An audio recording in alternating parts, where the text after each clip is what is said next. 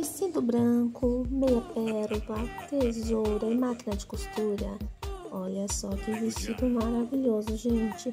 Com direito até buquê de flores. E olha aí a nossa Barbie noiva. Se vocês gostaram desse vídeo, se inscreva no meu canal, deixe um joinha e compartilhem.